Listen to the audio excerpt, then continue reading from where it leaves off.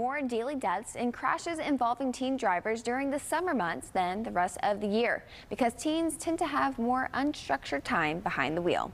They have coined the period from Memorial Day to Labor Day as the 100 deadliest days for teen drivers. They also mentioned that new teen drivers ages 16 to 17 are three times as likely as adults to be involved in a deadly crash. On the same topic, Bumper.com analyzed traffic fatalities to estimate which states see a higher likelihood of teen deaths. They found Wyoming has the highest percentage of summer teenage driving fatalities at 56.5 percent. Texas, fortunately, made the list of lowest percentage of teen driving fatalities from this study at 35.2%.